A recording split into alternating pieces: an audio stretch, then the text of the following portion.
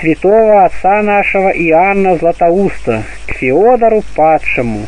Увещание первое, страница первая. Феодор, к которому относятся предлагаемые увещания, написанный около, около 369 года по Рождестве Христовом, был сверстником и другом святого Иоанна Златоустова, и вместе с ним в юности посвятил себя подвигам отшельнической жизни, но вскоре оставил их для занятий и удовольствий мира.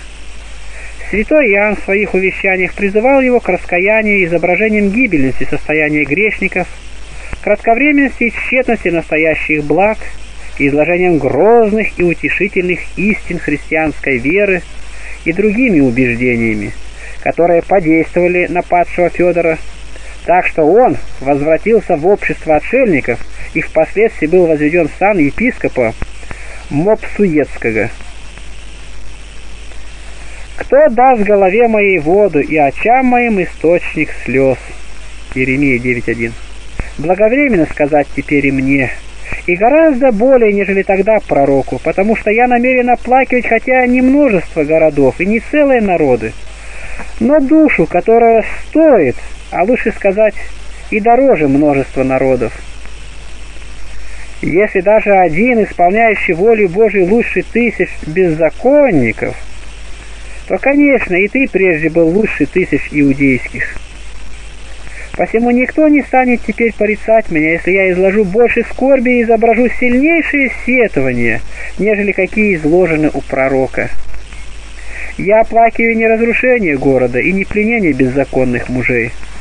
По опустошению священной души, но опустошение священной души и разрушение и истребление христоносного храма – кто, зная хорошо сожженную теперь дьяволом красоту ума твоего в то время, когда блистала она, не восстенал бы плачем пророка, слыша, что варварские руки осквернили святое святых, и, подложив огонь, сожгли все, херувимов, ковчег, очистилище, скрижали каменные, стамну золотую. Поистине, это несчастье во столько крат горестнее того, во сколько крат драгоценнее те символы, которые хранились в душе твоей.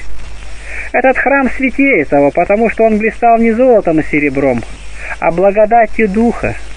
И вместо ковчега и херувимов в нем обитали Христос и его Отец и Утешитель. А теперь уже не то. Он теперь пуст и лишен прежней красоты и благолепия потерял божественное несказанное украшение и лишился всякой безопасности и охраны. Нет у него ни двери, ни запора, и он открыт для всех душепагубных и постыдных помыслов. Помысл ли гордости, помысл ли блуда, помысл ли сребролюбия или еще гнуснейшие помыслы устремятся войти в него? Никто не помешает этому. А прежде как небо недоступно всему этому, так недоступна была и чистота ума твоего. Может быть, слова мои покажутся невероятными некоторым из тех, кто видит теперь твое запустение и извращение. Поэтому я и скорблю и сетую, и не перестану делать это, доколе опять не увижу тебя в прежнем блеске. Хотя людям и представляется это невозможным, но для Бога все возможно, потому что Он есть возвязающий от земли нищего и от гноища возвышающий убогого, чтобы посадить его с князьями, с князьями людей своих. Он есть вселяющий неплодную в дом матерью, радующийся о детях своих. Псалом 112.7 Не отчаивайся в перемене на лучшее. Если дьявол был силен настолько, что не зринул тебя с вершины и высоты добродетели до крайности порока, то гораздо более силен будет Бог опять возвести тебя в прежнюю свободу и сделать не только таким же, но и гораздо блаженнейшим прежнего. Только не унывай, не теряй добрых надежд, не впадай в страсть нечестивых. В отчаянии обыкновенно вергает немногочисленность грехов, но нечестивое состояние души. Посему и Соломон не просто сказал «всякий, кто придет во глубину зол, не родит», но только один нечестивый. Притча 18.3. Только таким людям свойственна эта страсть, когда они приходят во глубину зол. Она-то не допускает их воспрянуть и опять зайти туда, откуда они не спали. Этот помысл, как бы какое ермо, лежа на вые души и заставляя ее смотреть вниз, препятствует ей возводить взоры к своему владыке. Но человеку мужественному и доблестному свойственно сокрушать это ермо, прогонять от себя палача, который возложил его, и произносить слова пророка, как очи рабыни на руку госпожи его, так очи наши Господу Богу нашему, доколе ущедрит нас.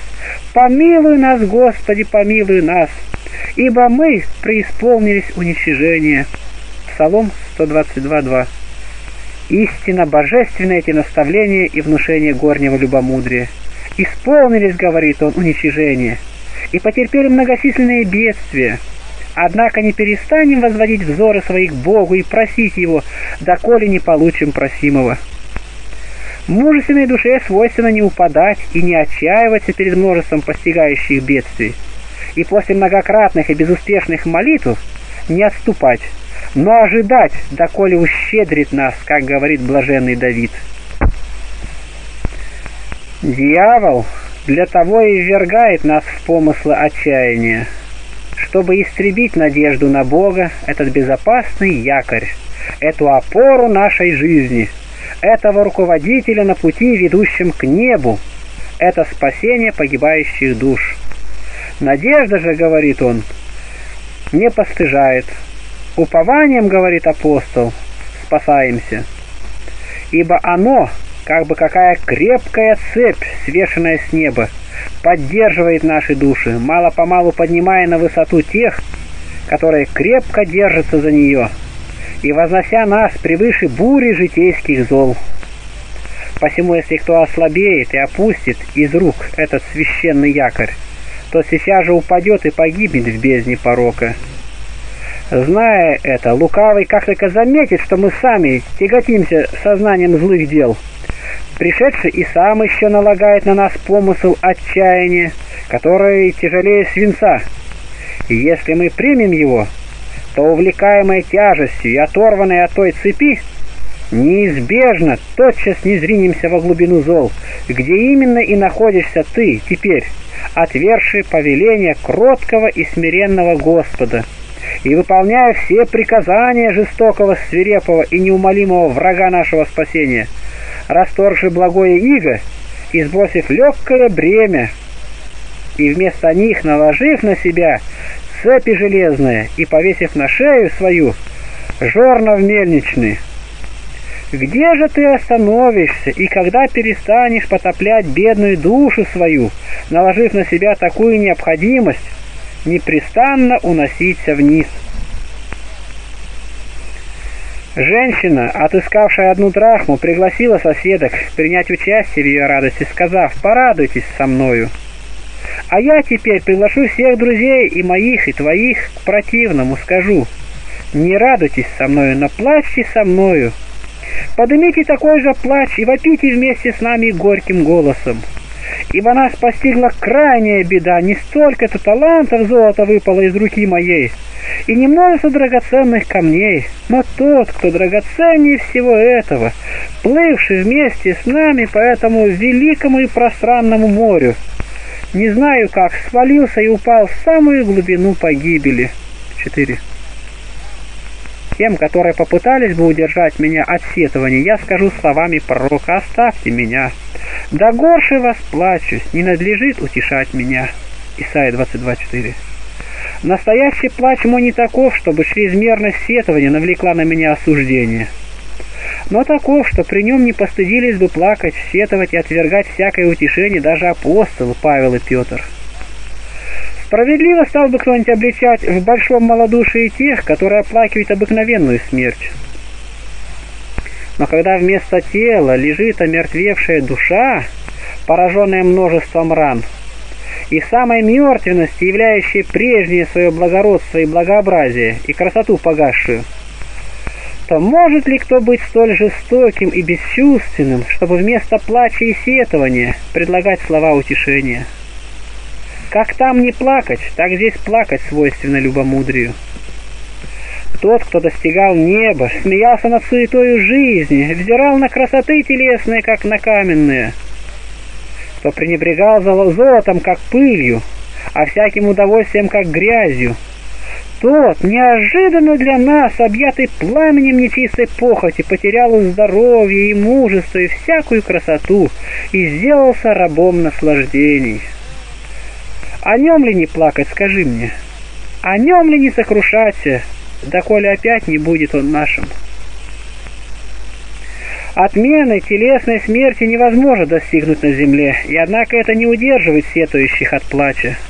А душевную смерть только и можно уничтожить здесь. В аде, говорит Давид, кто исповедается тебе? Псалом 6.6.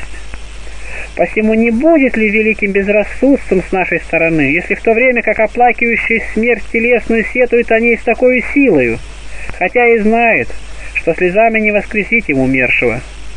Мы не будем выражать ничего подобного, хотя знаем, что часто бывает надежда возвратить погибшую душу к прежней жизни.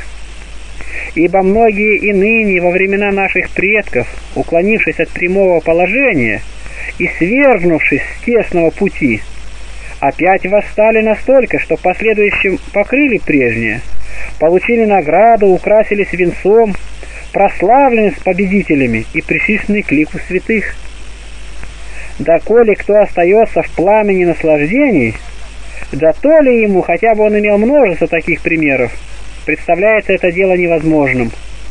Но как только он немного начнет выходить оттуда, то постоянно идя вперед, силу огня оставит позади себя, а впереди перед собой почувствует прохладу и великое облегчение. Только не будем отчаиваться. Не будем отказываться от возвращения потому что допустившему себя до такого состояния, хотя бы одарен был безмерной силой и ревностью, они будут бесполезны. Кто уже затворил для себя дверь покаяния и заградил вход на поприще подвижничества, как он будет в состоянии, находясь вне его, сделать малое или великое добро? Посему-то лукавый предпринимает все, чтобы внушить нам этот помысл – После этого уже не нужны будут ему усилия и труды для нашего поражения, когда сами лежащие падшие не хотят противиться ему. Кто мог избежать этих уз, тот и силу свою сохранит, и до последнего издыхания не перестанет сражаться с ним, и хотя бы испытал множество других падений, опять восстанет и сокрушит врага. Напротив, кто связан помыслами отчаяния и обессилил себя, тот как будет в состоянии победить врага и противостать ему, когда сам бежит от него? 5. Не говори мне, что так бывает лишь с невеликими грешниками. Нет, пусть даже человек будет исполнен всякого порока и сделает все, что затворяет для него вход в царствие, и притом не из неверных от начала, но и из верных и благоугождавших прежде Богу. Пусть такое сделается впоследствии блудником, прелюбодеем, состолюбцем, хищником, пьяницей, мужеложником, сквернословцем и тому подобное. И такого я не похвалю, если он будет отчаиваться в себе. Хотя бы он до самой глубокой старости провел такую несказанно порочную жизнь. Если бы гнев Божий был страстью, то справедливый иной стал бы отчаиваться, как не имеющий возможности показать пламень который он вожег столь многими злодеяниями. Но так как божество бесстрастно и наказывает ли, поражает ли, делает это не с гневом, но по промышлению и великому человеколюбию, то надлежит иметь крепкое дерзновение и уповать на силу покаяния. Бог не за себя мстит тем, которые согрешили против Него, ибо никакой вред не достигает до существа Его, но при этом имеет в виду нашу пользу, и то, чтобы мы не увеличивали своего развращения, продолжая оказывать ему пренебрежение и презрение. Как удаляющийся от света не вредит нисколько свету, а самому себе весьма много, погружаясь во мрак, так и привыкший пренебрегать всемогущей силою, ей не вредит нисколько, а самому себе причиняет крайний вред. Посему Бог и угрожает нам наказаниями и часто посылает их не для того, чтобы отомстить за себя, но чтобы нас привлечь к себе. Ибо и врач не сетует и не обижается наносимыми ему от больных оскорблениями, но всячески старается остановить их бесчинство, имея в виду не свою, а их пользу. И если они покажут хотя немного благоразумия и здравомыслия, он радуется и веселится, и тем сильнее употребляет лекарства не для того, чтобы отомстить им за прежнее, но чтобы доставить больше пользы и довести их до совершенного выздоровления. Так и Бог, когда мы впадаем в крайнее безумие, и говорит и делает все не из мести за прежнее, но желая избавить нас от недуга, в чем можно убедиться и посредством здравого смысла. 6. Если же кто и после этого будет сомневаться, то мы уверим его в том и божественным писанием. Кто, скажи мне, был преступник царя Вавилонского? Он, после того, как уже настолько испытал силу Божию, что поклонился пророку его и приказал дары и благовония возлиять ему, Даниила 2.46, опять предался прежней гордости и, связав, вернул в печь тех, которые не почтили его больше Бога.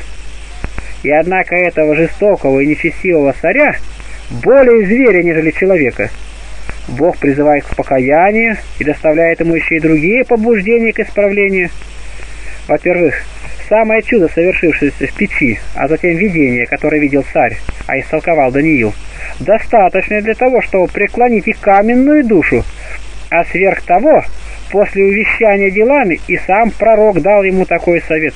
«Посему, царь, мой совет тебе да будет угоден, и грехи твои искупи милостыней, и неправды твои щедротами убогих». Быть может, долготерпеливый Бог простит тебе грехи. Даниила 4.24 Что говоришь ты, премудрый и блаженный? Уже ли возможен и после такого отпадения возврат – и после такой болезни здравие, и после такого безумства надежда образумится. Царь сам уже отнял у себя всякую надежду, тем, во-первых, что не познал создавшего его и возведшего на такую честь, хотя и имел сведения о многих доказательствах силы и промысла его, и на себе самому, на своих предках, а после того еще тем, что, получив ясное свидетельство мудрости и предведения Божия, и видев, как неспровергнуты были и магия, и астрономия, и действия всякого дьявольского волхвования, оказался хуже прежнего, ибо чего не могли изъяснить мудрые волхвы, газарины, и что признали они превышающим природу человеческую, то Бог изъяснил ему через пленного отрока.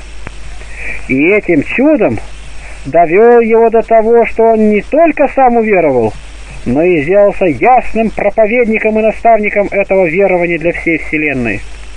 Таким образом, если он и прежде этого знамения не заслуживал прощения за свое неведение о Боге, то гораздо более после такого чуда, после собственного исповедания и преподанного наставления другим. Если бы он не был точно уверен, что истинный Бог один, то и не оказал бы такой чести рабу его, и другим не дал бы такого же приказания. И однако, после такого исповедания, он опять впал в идолослужение, и тот, кто падший на лицо поклонился рабу Божию, дошел до такого безумия, что рабов Божьих, не поклонившихся ему, вернул в печь. Что же, отомстил ли Бог отступнику, как набежал отомстить? Напротив, он представил ему еще больше доказательства своего могущества, чтобы привести его после такого безумства опять в прежнее состояние. И что особенно удивительно, дабы чудные события по чрезмерности своей не показались невероятными, он сотворил знамение не над другим чем-либо, а над той печью, которую разжег сам царь для отроков, и в которую, связав, вернул их. Конечно, чудесным и необычайным было бы и то, если бы только огонь был погашен. Но человеколюбец дал, дабы внушить больше страха, произвести больше изумления и совершенно прекратить ослепление царя, и сделал большее и необычайнейшее чудо. Попустив, чтобы огонь разожжен был настолько, насколько хотелось царю, он являет свое могущество в том, что, не уничтожая приготовление врагов, делает готовое недействительным. А чтобы кто-нибудь, увидев отроков победившими пламень, не счел этого привидением, Бог попустил, чтобы опалены были вернувшие их, показывая с одной стороны то, что видимый пламень был действительно огонь, иначе бы не пожал нефть и смолу и хворост и столько тел. А с другой то, что нет ничего сильнее его повеления, но что природа всего сущего повинуется приведшему ее из небытия в бытие, что тогда именно и обнаружилось. Ибо огонь, приняв тела тленные, не коснулся их как бы нетленных, и возвратил жертву в целости, даже еще в большем блеске.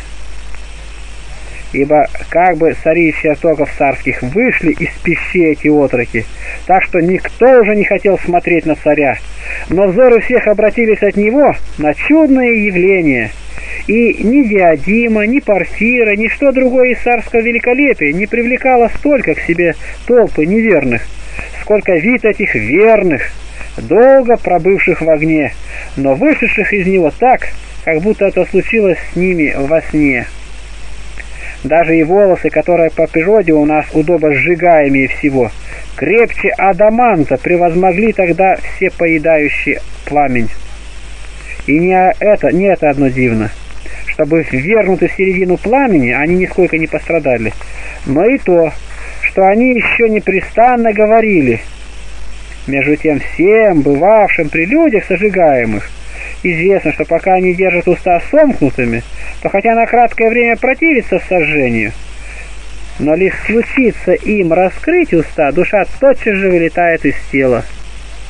И однако после столь многих совершившихся чудес, и когда все присутствовавшие и видевшие пришли в изумление, а отсутствовавшие извещены были об этом письменно, царь, который учил других, сам остался неисправимым и опять обратился к прежним порокам. И при всем этом Бог не наказал его, но еще долго терпел, вразумляя его и через сновидение, и через пророка. Только когда уже он никаким из этих способов немало не исправился, Бог наконец наводит на него казнь, не отмщая, впрочем, за прошедшее, но пресекая будущее зло и удерживая порог от преуспеяния. Притом наказал не навсегда, но после нескольких лет наказания опять возвел его в прежнюю честь, так что он от наказания не потерпел никакого вреда, а приобрел величайший из всех благ – утверждение в вере в Бога и раскаяние в прежних своих грехах. 8. Таково человеколюбие Божие. Никогда он не отвергает искреннего раскаяния – но хотя бы кто дошел до самой крайней порочности, а потом решился бы возвратиться опять оттуда на путь добродетели. И такого он принимает и приближает к себе, и делает все, чтобы привести его в прежнее состояние. И еще более человеколюбие вот в чем. Если кто окажет неполное раскаяние, то и краткого, и малого он не отвергает. Даже из-за него назначает великую награду. Это видно из слов пророка Исаии – который он сказал о народе иудейском. «За грех мало что опечалил его и поразил его, и отвратил лицо мое от него. И опечалился, и пойди дряхал, исцелих его, и утеших его». Исайя 57.17 Засвидетельствует нам это и тот нечестивейший царь, который женой своей был увлечен к преступлениям, но как только заплакал, оделся во вретище и раскаялся в своих беззакониях, то и преклонил к себе милость Божию, так что избавился от всех угрожавших бедствий. И сказал Господь Илии, «Видел ли ты, как смирился Ахав перед лицом моим? Посему не наведу зла всего в одни его, за то, что он плакал перед лицом моим». 3 Царств 21-29 Опять позже Манасия, который безумием и жестокостью превзошел всех, не спроверг законное богослужение, затворил храм, способствовал процветанию идольского заблуждения и был нечестивее всех предшественников. Когда потом раскаялся, был причислен к друзьям Божиим. Вторая паралипоменон 33.12. Если бы он, посмотрев на тяжесть своих беззаконий, отчаялся в своем обращении и исправлении – то лишился бы всего, что получил после. А теперь, возрев вместо чрезмерности своих грехов на беспредельность благоутробия Божия и расторгши узы дьявольские, он восстал, подвязался и доброе течение совершил. Впрочем, Бог отсекает помыслы отчаяния не только тем, что было с этими царями, но и словами пророка. «В день, когда услышите голос его, не ожесточите сердец ваших, как в дни ропота». Выражение «ныне» можно относить ко всей жизни, даже если угодно и к старости, потому что покаяние ценится не по продолжению времени, но по душевному расположению. Так для ниневитян не было нужды во многих днях, чтобы загладить грех свой, но краткого дневного срока было достаточно для изглаждения беззакония их. И разбойник не в течение долгого времени достиг входа в рай, но во сколько времени смыв все грехи всей своей жизни, сколько употребляется его на произнесение одного слова, получил еще прежде апостолов награду прославления – Посмотрим и на мучеников, которые не во многие годы, но в несколько дней, а часто и в один день только, удостаивались светлых венцов. Итак, нам всегда нужно иметь бодрость и великое усердие. Если так настроим совесть свою, что возненавидим прежнюю порочную жизнь и изберем противоположный путь с такой силой, какой хочет и требует Бог, то от времени ничего не потеряем, так как многие, быв последними, опередили первых.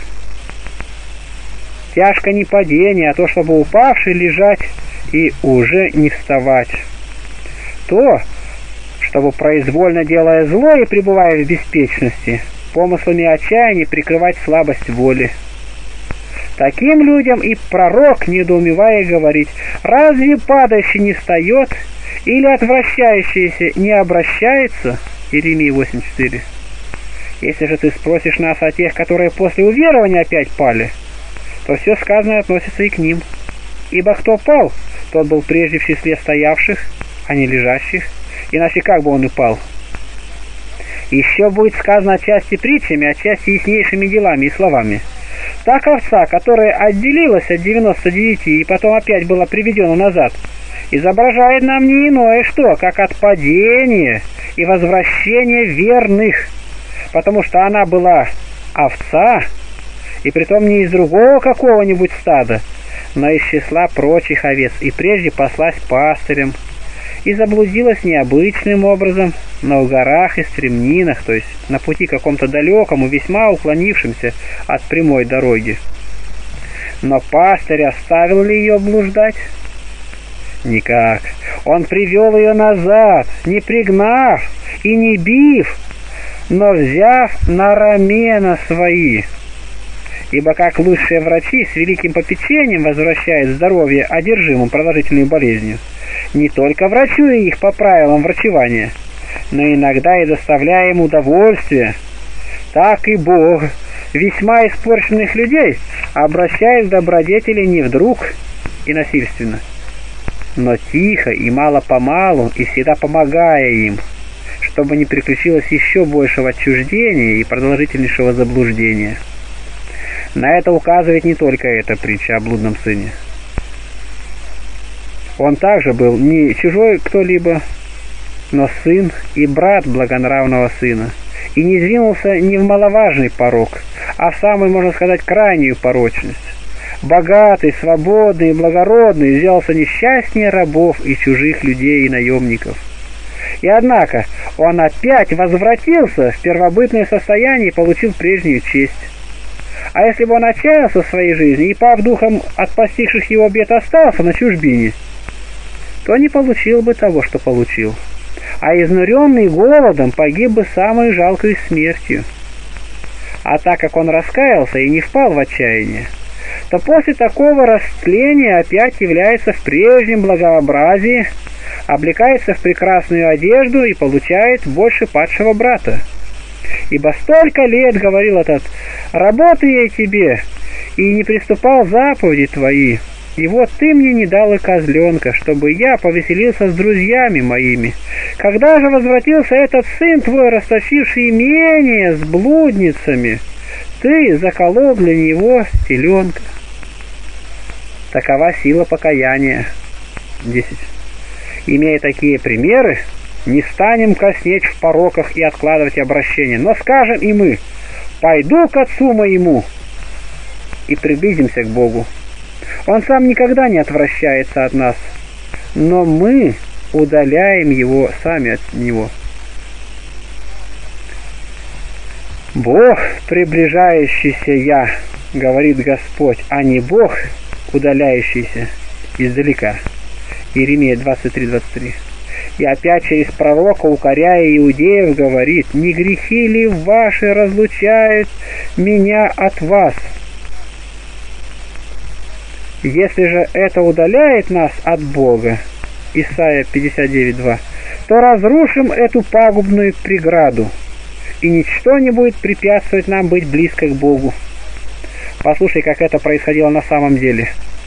У Коринфян один знатный человек совершил такой грех, какого не слышно было и между язычниками. Он был верный и из близких ко Христу. А некоторые говорят даже, что он был из числа священнослужителей. Что же? Исключил ли его Павел из общества спасаемых? Никак.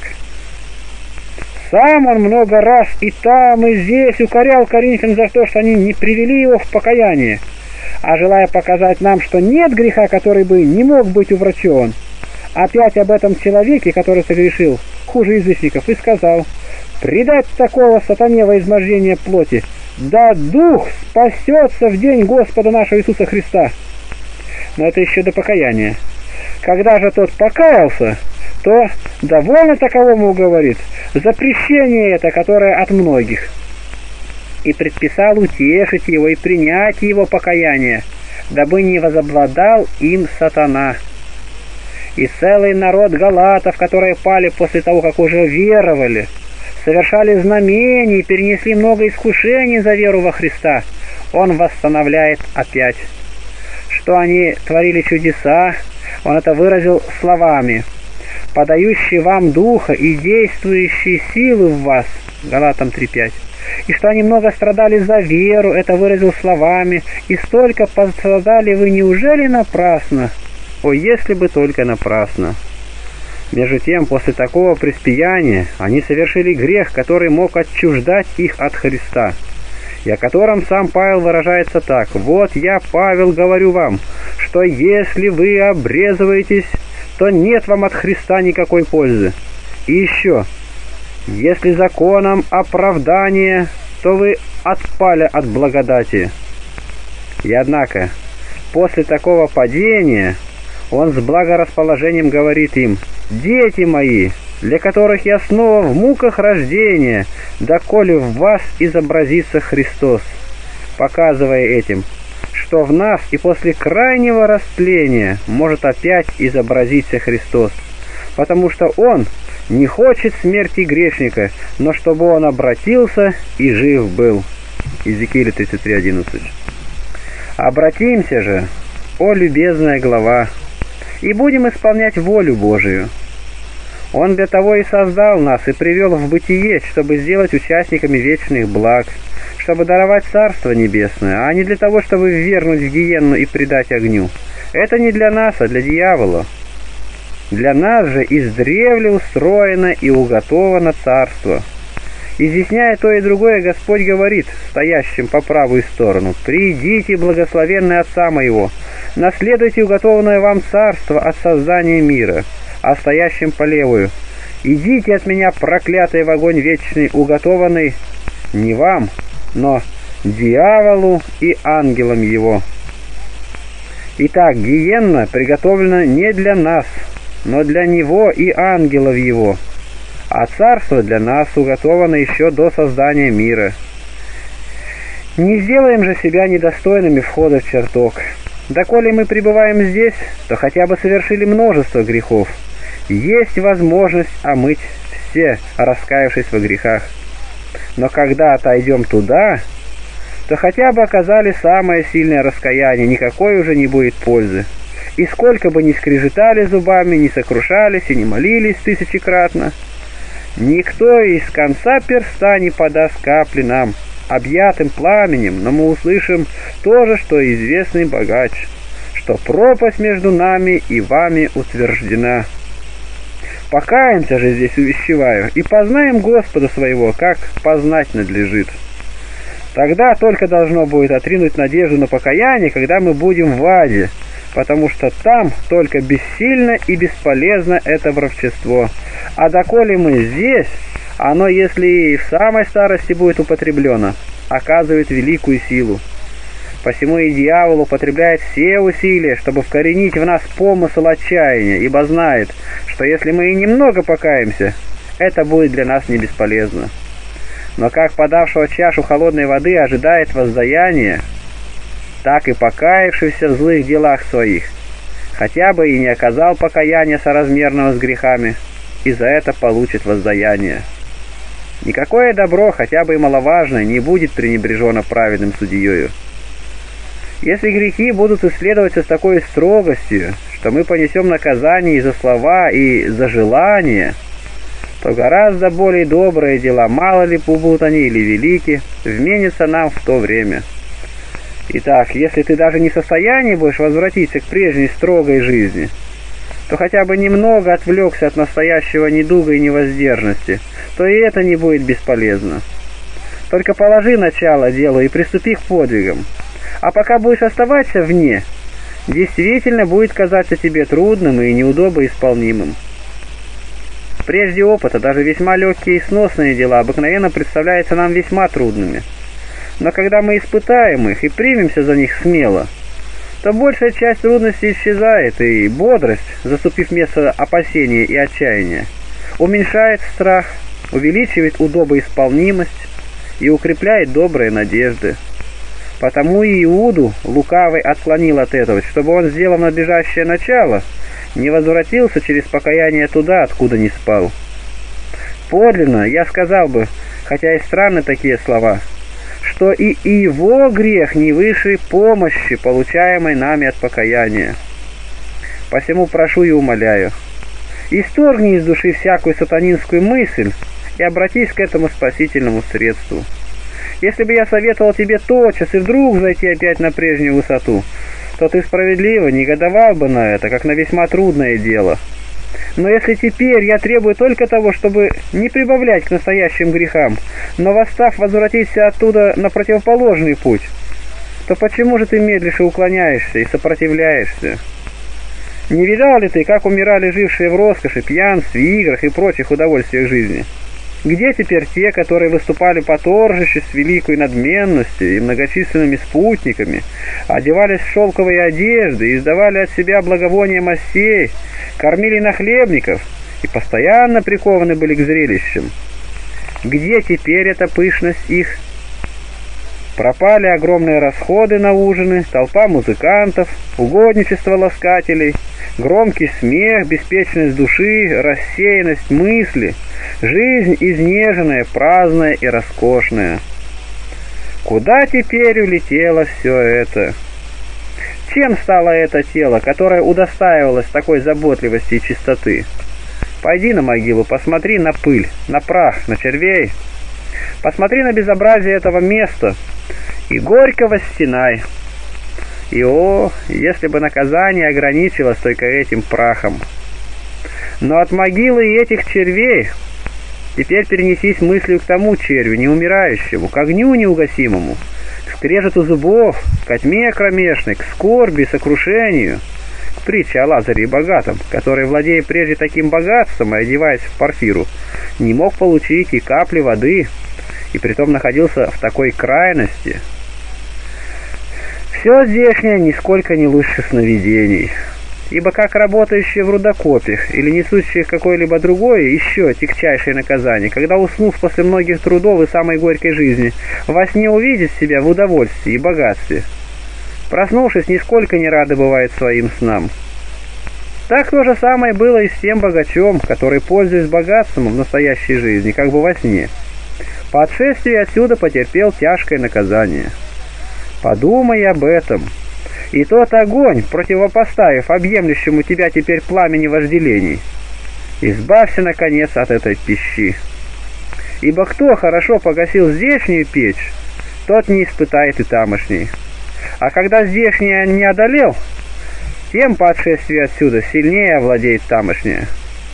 Насколько бы времени хотелось тебе продлить наслаждение настоящей жизнью? Я думаю, что тебе осталось не более 50 лет, чтобы достигнуть крайней старости. Но и это еще неизвестно нам. Потому что те, которые не могут быть уверены в продолжении своей жизни даже до вечера, как могут поручиться за столько лет? И ни одно это неизвестно, неизвестна и перемена обстоятельств. Часто жизнь, продолжающаяся много времени, не продолжается вместе и удовольствие, но как только появляется, так и исчезают. Впрочем, если угодно, пусть будет так, что ты проживешь столько лет и не испытаешь никакой перемены. Что же это в сравнении с бесконечными веками и с теми тяжкими и невыносимыми наказаниями? Здесь и хорошее, и худое имеет конец, и притом весьма скорый. А там то и другое продолжается в бесконечные веки, а по качеству своему настолько отлично от здешнего, что и сказать невозможно. 13. Услышав об огне, не подумай, будто тамошний огонь таков же, как здешний. Этот, охватив что-либо, сожигает и погасает. А тот, кого однажды захватит, жжет постоянно и никогда не перестает, почему и называется неугасимым. Ибо и грешникам надлежит облечься бессмертием, не к славе, но чтобы иметь всегдашнего спутника тамошнего мучения. А сколь это ужасно, того никогда не может изобразить слово. А только из опытного ощущения малых страданий можно получить некоторое слабое понятие о тех великих мучениях. Когда бываешь в бане, натопленной сильнее надлежащего, то представь себе огонь гиенский. Если когда будешь гореть в сильной горячке, то перенесись мыслью к тому пламени. И тогда будешь в состоянии хорошо понять это различие. Если даже баня и горячка так мучают, беспокоят нас, то что будем мы чувствовать тогда, когда попадем в ту огненную реку, которая будет течь перед страшным судилищем? Будем скрежетать зубами от страданий нестерпимых мучений, но никто не поможет нам. Будем крепко стенать, когда пламя все сильнее станет охватывать нас, но не увидим никого, кроме мучимых вместе с нами и великой пустыни. А что сказать о тех ужасах, которые мрак будет наводить на наши души? Ибо тот огонь как не истребляет, так и не освещает, иначе не было бы мрака.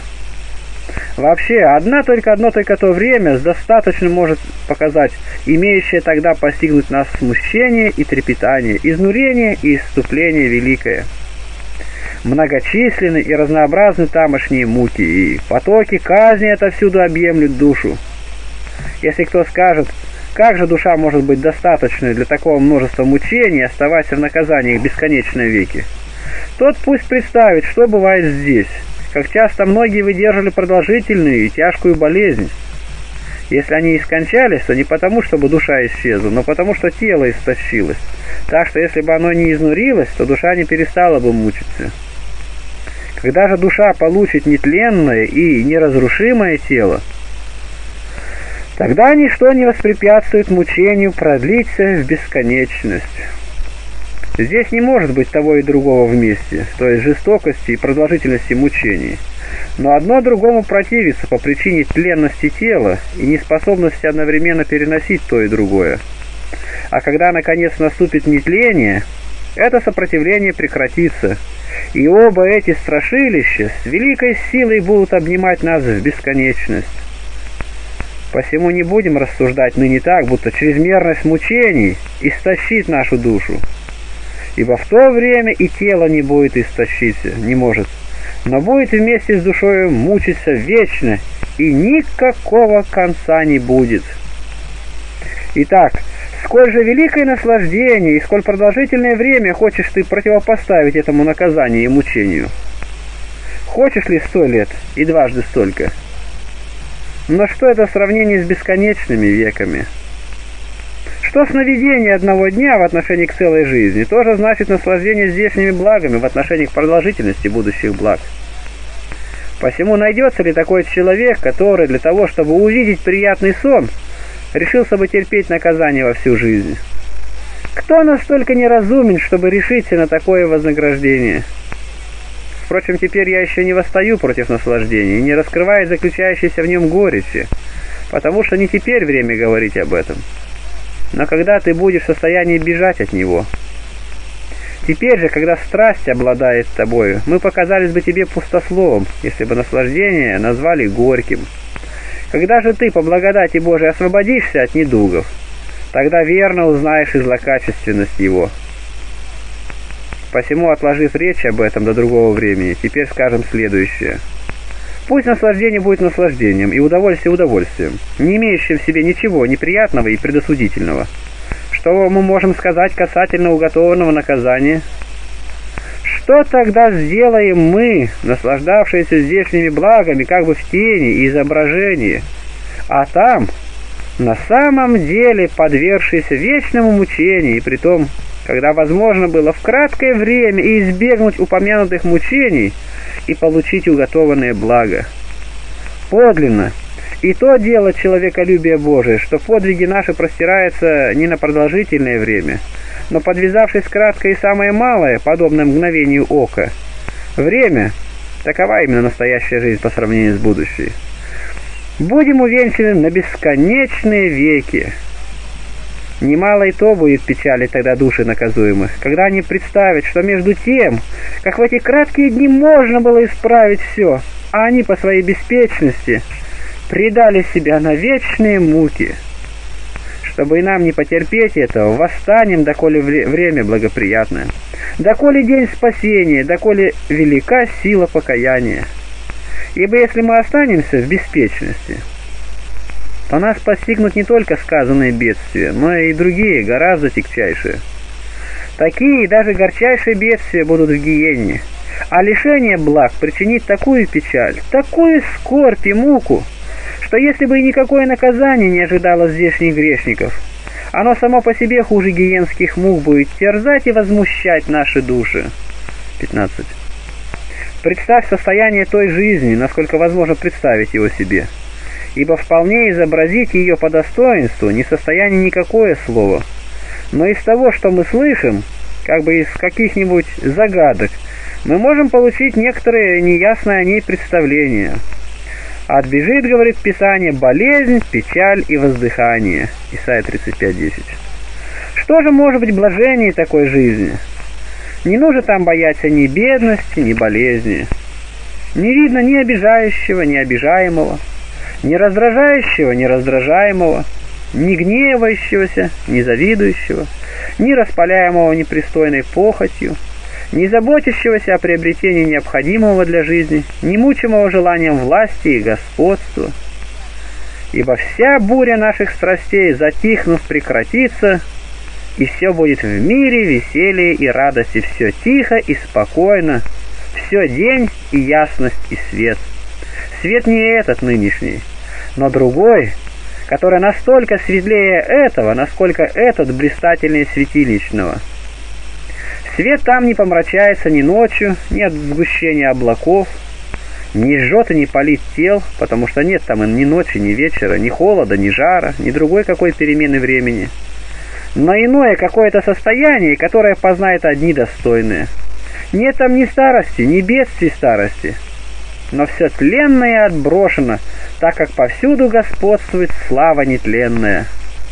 А что всего важнее, это непрерывное наслаждение общением со Христом, вместе с ангелами, с архангелами, с горними силами. Посмотри теперь на небо и перейди мыслью к тому, что выше неба. Представь преображение всей твари, она уже не останется такой, но будет гораздо прекраснее и светлее, и насколько золото блестящее олово, настолько тогдашнее устройство будет лучше настоящего, как и блаженный Павел говорит, что и сама тварь освободится от рабства тлению. Ныне она, как причастное тлению, терпит многое, что свойственно терпеть таким телам. Но тогда, совлекшись всего этого, она представит нам нетленное благолепие. Так как она должна принять нетленные тела, то и сама преобразится в лучшее состояние. Нигде не будет тогда раздора и борьбы, потому что велико согласие в лике святых, при всегдашнем единомыслии всех друг с другом. Не нужно там бояться ни дьявола и демонских козней, ни грозы гиенской, ни смерти, ни этой нынешней, ни той, которая гораздо тяжелее этой. Но всякий такой страх уничтожен. Подобно тому, как царский сын, первоначально воспитываемый в уничиженном виде, под страхом и угрозами, дабы от послабления он не испортился и не сделался недостойным отцовского наследия, по достижении царского достоинства вдруг переменяет все прежнее и в Порфирии и Диадиме среди множества копьеносцев председательствует с великим дерзновением, отринув от души всякое уничижение и смирение, и вместо того восприняв другое, так будет тогда и со всеми святыми. А чтобы эти слова не показались простым красноречием, зайдем мысли на гору, где преобразился Христос. Взглянем на Него блистающего, как Он воссиял, хотя и тогда Он показал нам не все еще сияние будущего века. И самых слов евангелиста видно, что явленное тогда было только снисхождением, а не точным представлением предмета. Ибо что говорит он? «Просветился, просветитесь, как солнце, Слава нетленных тел являет не такой свет, какой это тленное тело, и не такой, какой доступен и смертным очам, но такой, что созерцание которого для созерцания нужны нетленные и бессмертные очи. А тогда на горе он открыл лишь столько, сколько возможно было видеть без вреда очам видевших. И при всем этом они не вынесли, но пали на лицо свое. «Скажи мне, если бы кто, приведя тебя на какое-либо светлое место, где все сидели бы облеченные в золотые одежды, и посреди этого собрания показал бы еще одного человека, имеющего одежду и венец на голове из, одного драго... из одних драгоценных камней, потом обещал бы и тебя ввести в это общество. Но не употреблял ли бы ты всех усилий, чтобы получить обещанное?» Открой же теперь умственные очи и посмотри на то зрелище, состоящее не из простых мужей, но из тех, которые драгоценнее золота и дорогих камней и лучей солнечных, и всякого видимого блеска, и не только из людей, но и из гораздо достойнейших, нежели они, из ангелов, архангелов, престолов, господств, начал, властей. А о царей сказать нельзя, каков он – так недоступна никакому слову и уму эта красота, доброта, светлость, слава, величие, великолепие. Таких ли благ лишить нам себя, скажи мне, для избежания маловременных тягостей? Если бы надлежало каждый день претерпевать множество смертей, даже саму гиенну, для того, чтобы увидеть Христа, грядущего во славе своей, и быть причисленным к лику святых, то не надлежало ли бы претерпеть все это?» Послушай, что говорит блаженный Петр. Хорошо нам здесь быть. Если же он, увидев только неясный некоторый образ будущего, тотчас излил все из души вследствие наслаждения, происшедшего в душе его от этого зрелища, то что сказать, когда явится самая истина вещей, когда отверзутся царские чертоги, и можно будет созерцать самого царя, уже не в гадании и не в зеркале, но лицом к лицу, уже не верою, но видением. 17. Многие безрассудно желали бы только избавиться от гиенны, но я считаю гораздо тягчайшим гиенны наказанием не быть в той славе. И тому, кто лишился ее, думаю, должно скорбеть не столько от гиенских мучений, сколько о лишении небесных благ. Ибо это одно есть тягчайшее из всех наказаний – Ныне мы часто, видя царя со множеством копьеносцев, входящих в царские чертоги, почитаем счастливыми приближенных к нему и участвующих с ним в разговоре, совете и прочей почести. Даже обладая множеством благ, называем себя несчастными, и нисколько не ценим этих благ, взирая на славу окружающих царя, хотя и знаем, что этот блеск обманчив и ненадежен по причине войн, по причине козней, и по причине зависти. И помимо всего этого, сам по себе не стоит никакого внимания. А в отношении к царю всего, который обладает не частью земли, но всем кругом земли, или лучше сказать, всю ее объемлет дланью, и небеса измеряет пядью, носит все глаголом силы своей, перед которым все народы как ничто и как плюновение. Исайя 11.15. В отношении к этому царю, уже ли мы не почтем крайним наказанием не быть включенными в тот лик, который около него, и рады будем, если только избавимся от гиенны? Что может быть жалче такой души? Это царь ни в запряжке белых мулов, ни на золотой колеснице, ни в парфире и. Не так грядет судить землю. Но как? Послушай пророков, взывающих и говорящих об этом, как людям возможно сказать. Один говорит, вот Бог наш грядет, Бог наш, и не в безмолвии. Огонь перед ним возгорится, и вокруг его буря сильная, призывает свыше небо и землю, чтобы судить людей своих. Псалом 49.3. А Исаия присовокупляет и самое наказание нам в следующих словах. Исаия 13.9. «Вот приходит день от Господа лютый с гневом и пылающий яростью, чтобы сделать землю пустынею, истребить с нее грешников ее. Звезды небесные и светила не дают от себя света, солнце меркнет при восходе своем, и луна не сияет светом своим». Я накажу мир за зло и нечестивых за беззаконие их, и положу конец высокоумию гордых, и уничижу надменность притеснителей. Сделай то, что люди будут дороже чистого золота, и мужи дороже золота афирского. Для сего потрясу небо, и земля сдвинется с места своего от ярости Господа Саваофа в день пылающего гнева его.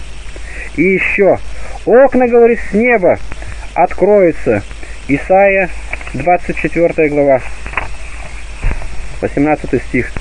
«Тогда побежавший от крика ужаса упадет в яму, и кто выйдет из ямы, попадет в петлю.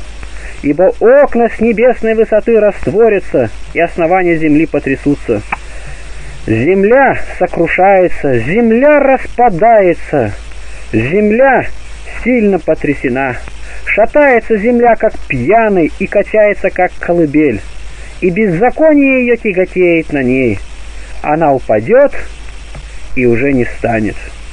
И будет в тот день посетит Господь воинство выспреннее на высоте и царей земных на земле, и будут собраны вместе, как узники в ров, и будут заключены в темницу, и после многих дней будут наказаны.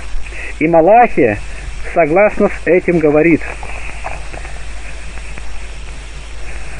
3 глава, 2 стих. «И кто выдержит день пришествия его, и кто устоит, когда он явится? Ибо он как огонь расплавляющий и как щелок очищающий. И сядет переплавлять и очищать серебро, и очистит сынов Левия, и переплавит их как золото и как серебро, что приносили жертву Господу в правде». И еще говорит, 4 глава, 1 стих – Ибо вот придет день, пылающий, как печь. Тогда все надменные, поступающие нечестиво, будут как солома, и попалит их грядущий день, говорит Господь Саваоф, так что не оставит у них ни корня, ни ветвей.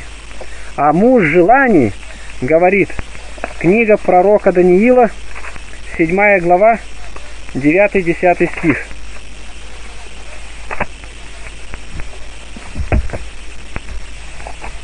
Видел я, были поставлены престолы, и воссел ветхий днями, и одежда его была бела, как снег, и волосы головы его, как волна чистая. Престол его — пламень огненный, колеса его — огонь палящий. Река огненная проходила перед ним, тысячи тысяч служили ему, и тьмы тем предстояли перед ним. Судьи сели, и книги раскрылись. И стих 13-15. Видел я в ночных видениях, вот с облаками небесными шел, как бы сын человеческий. Дошел до ветхого днями и подведен был к нему. И ему дана власть, слава и царство, чтобы все народы, племена и языки служили ему. Владычество его — владычество вечное, которое не прейдет, и царство его не разрушится. Вострепетал дух мой во мне, Данииле, в теле моем, и видение головы моей смутили меня. Тогда разверзутся все врата сводов небесных, а лучше сказать и самое небо истребится. Ибо совьется, говорит порог неба, как свиток, свертываясь, как бы кожа и покров какой-либо палатки, чтобы измениться в лучшее. Тогда все исполнится изумление, ужаса и трепета. Тогда и самих ангелов обымет великий страх, и не только ангелов, но и архангелов, престолы и господство, и начало, и власти.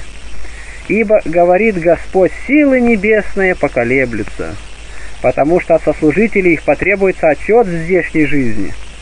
Если тогда, когда один какой город бывает судим земными правителями, трепещут все, даже и находящиеся вне опасности – то когда вся Вселенная будет судима таким судьею, который не нуждается ни в свидетелях, ни в обличителях, но и без них всех обнаружит и дела, и слова, и мысли, и все, как на картине покажет и самим грешникам, и незнающим, возможно ли, чтобы тогда не потряслась и не поколебалась всякая сила?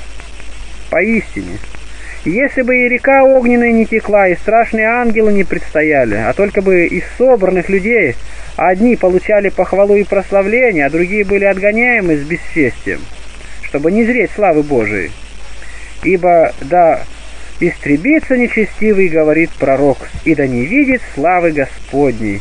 Исайя 26.10. И это было бы единственным наказанием, то лишение таких благ не мучительнее ли всякой гиене, гиены терзало бы души отверженные – как велико это бедствие, ныне невозможно изобразить словом. А тогда мы ясно узнаем на деле.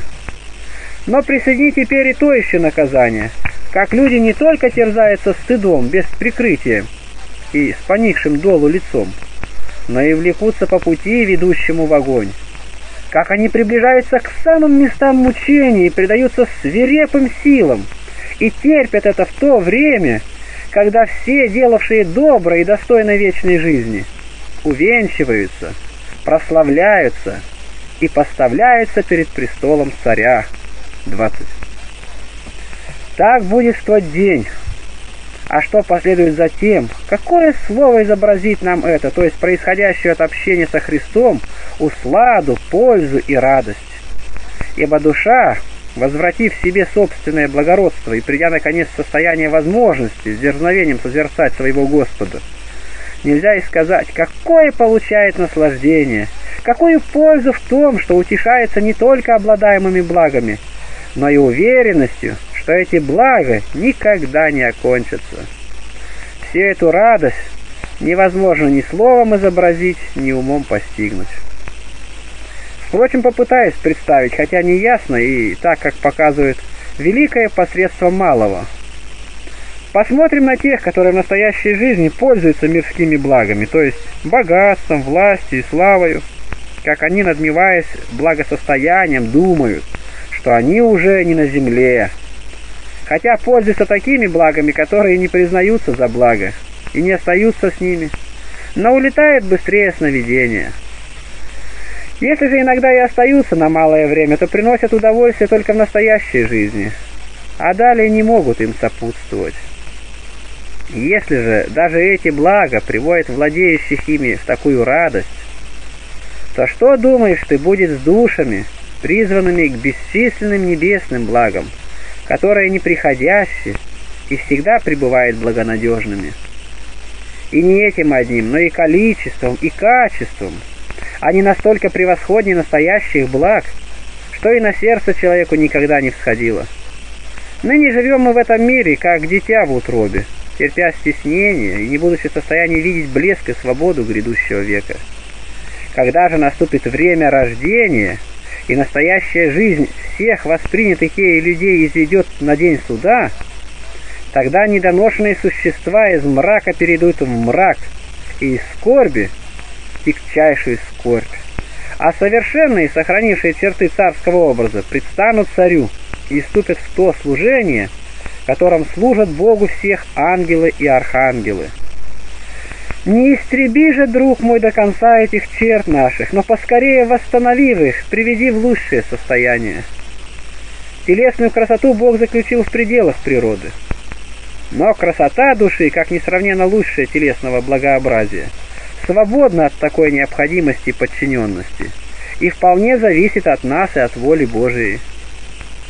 Человеколюбивый владыка наш и тем особенно почтил род наш, что менее важно и мало полезное для нас, потеря чего безразлична, подчинил естественной необходимости, а распорядителями истинно доброго сделал нас самих. Если бы он сделал нас властными и в телесной красоте, то мы и лишнюю заботу получили бы, и все время тратили бы на бесполезное, и весьма вознеродили бы о душе. Если и теперь, когда не дано нам такой власти, мы делаем все и употребляем все усилия к тому, и не имея силы на самом деле, позволяем украшать себя цветами, красками, складкой волос, убранством одежд, расписыванием глаз и множеством других хитростей придумаем себе такую красоту, то стали ли бы мы прилагать какое-нибудь попечение о душе и о высоких предметах, когда бы имели возможность придавать телу действительно прекрасный вид? Может быть, если бы это было нашим делом, у нас и не было бы никакого другого дела. Но все время мы проводили бы в том, чтобы рабу украшать бесчисленными прекрасами, а госпожу ее хуже всякого невольника оставлять в безобразии и пренебрежении.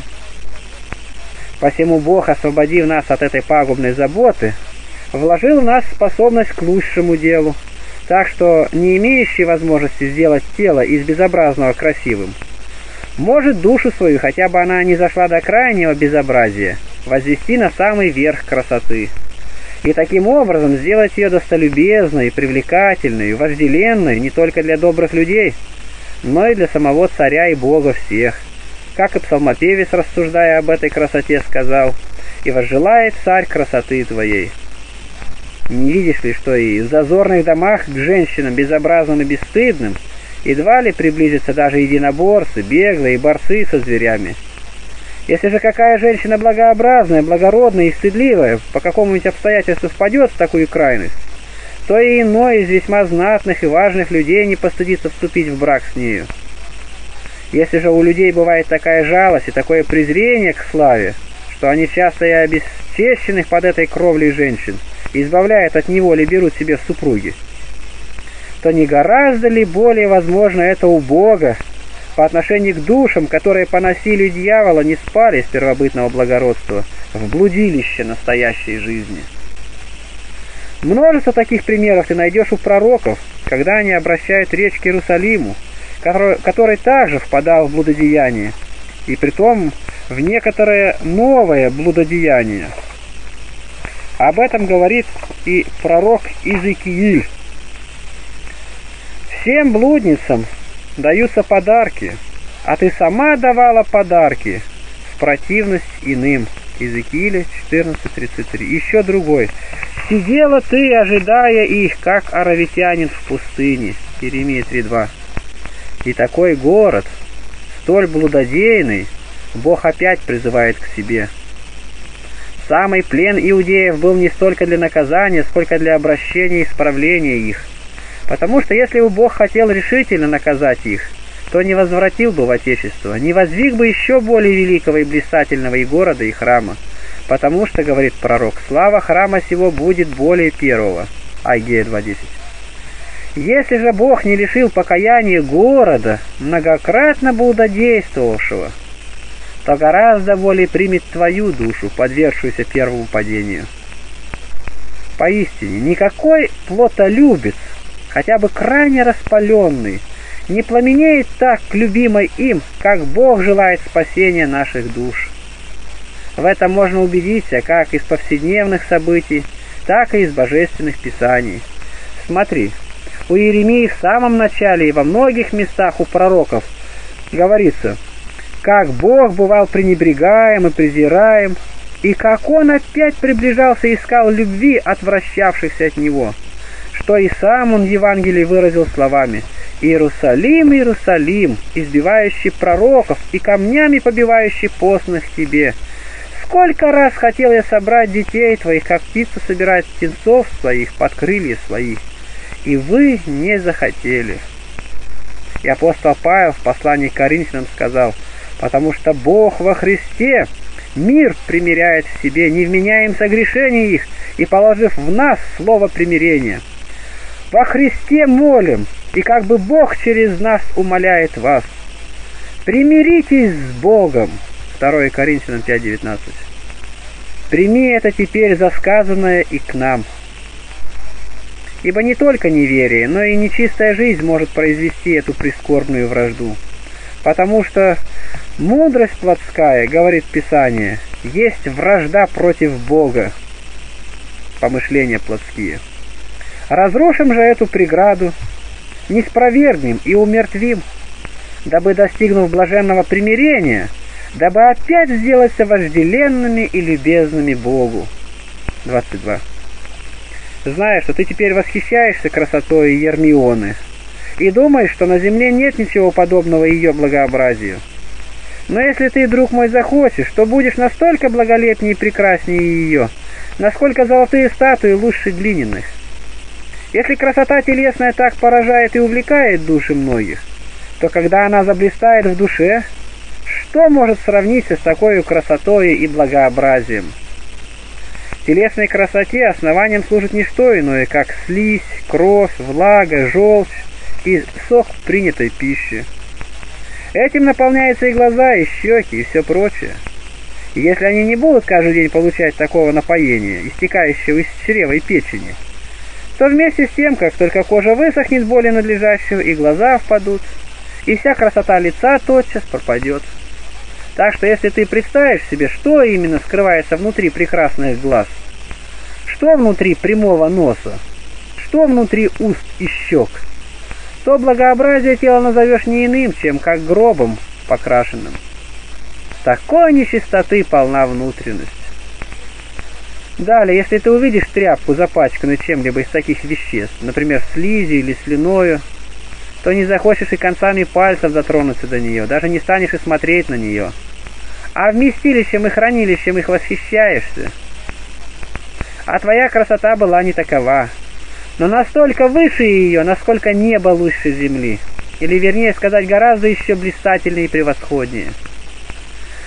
Конечно, никто никогда не видал души самой себе без тела, но я попытаюсь представить тебе красоту ее иначе, по сравнению с высшими силами. Послушай, как их красота поразила мужа желаний, намереваясь изобразить их красоту и не могши найти такое тело. Он прибег к металлическим веществам, но не удовольствовавшись ими одними, взял в пример еще блеск молнии. Если же те силы, проявившее существо свое не в своей чистоте и обнаженности, но весьма неясным и прикровенным образом, были, однако, столь блистательны, то какими должны они явиться без всякого покрова? Нечто подобное надлежит представлять о красоте души. «Будут, — говорит Господь, — равны ангелам». Лука 20:36. Даже между телами, те, которые легче и тоньше приближаются к бестелесным предметам, гораздо лучше и превосходнее других. Небо прекраснее земли, огонь воды, звезды камней. А радугой мы восхищаемся гораздо более, нежели фиалками, розами и всеми другими цветами, цветами земными. Вообще, если бы возможно было увидеть красоту души телесными очами, ты посмеялся бы над всеми этими примерами тел. Так слабо они представляют нам благолепие души. Не будем же не родить о таком стяжании и таком блаженстве. Тем более, что возвращение к этой красоте для нас удобно при надежде на будущее. Ибо ныне, говорит апостол, легкая печаль наша по преизбыточеству в преспиянии тяготы вечной славы соделывает в нас более, когда мы смотрим не на видимое, но на невидимое, ибо видимое временно, а невидимое вечно. 2 Коринфянам 4.17. Если же скорби, которые ты знаешь, блаженный Павел назвал не тяжкими и легкими, так как не смотрел на видимое, то тем легче тебе оставить нечистую похоть. Мы теперь зовем тебя не на опасности, не на ежедневную смерть, непрестанные удары, бичевания, узы, борьбы со Вселенной, вражду от домашних, беспрестанное бдение, продолжительные путешествия, кораблекрушение – нападения разбойников, козни от сродников, скорби о друзьях, голод, холод, наготу, зной, печаль о своих и не своих. Ничего такого мы не требуем теперь, об одном только просим. Освободиться от окаянного рабства и возвратиться к прежней свободе, представив себе и наказание за похоть, и почесть за прежнюю жизнь. Если неверующие в учение и о воскресении предаются беспечности и никогда не чувствуют этого страха, Это нисколько не удивительно. А нам, надеющимся более на будущее, нежели на здешнее благо, проводить столь жалкую и несчастную жизнь, ничего не ощущать при воспоминании о первых, но не спать за крайней бесчувственности, это было бы крайне безрассудно. Когда мы, верующие, будем поступать как неверные, или станем вести себя хуже их, а между ними есть просиявшая житейской добродетелью. Какое, наконец, будет нам утешение? Какое оправдание? Из купцов многие, потерпев кораблекрушение, не упали духом, но опять пошли тем же путем, хотя при том потерпели это несчастье не от собственной беспечности, но от силы ветров.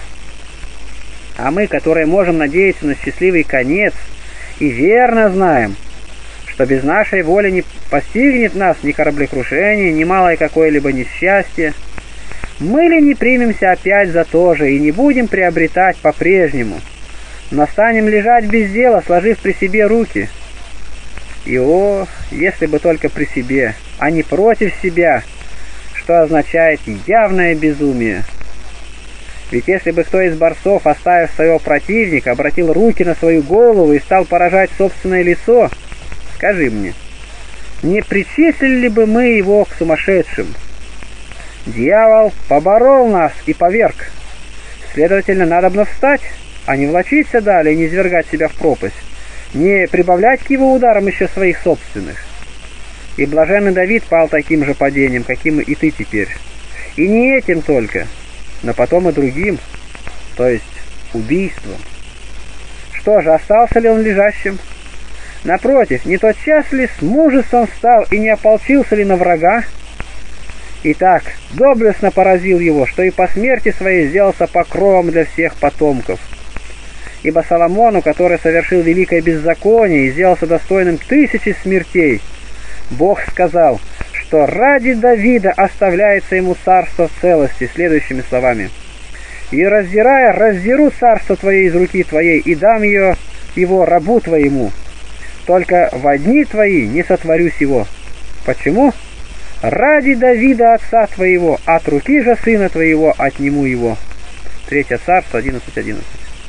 И Езекии, бывшему в крайней опасности, хотя и праведному, он обещал помощь ради того же блаженного. «Защищу, — говорит, — город сей, чтобы спасти его ради меня и Давида ради раба моего». 4 царь 19.34.